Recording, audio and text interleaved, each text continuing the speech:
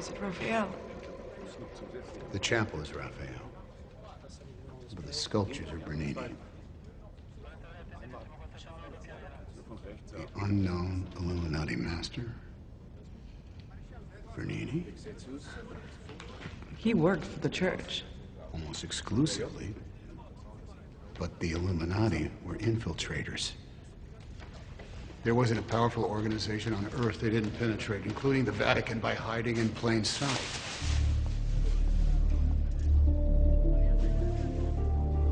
Habakkuk and the angel. He's the prophet that predicted the annihilation of the earth. Let angels guide thee on thy lofty quest. This is the first marker. The path is alive.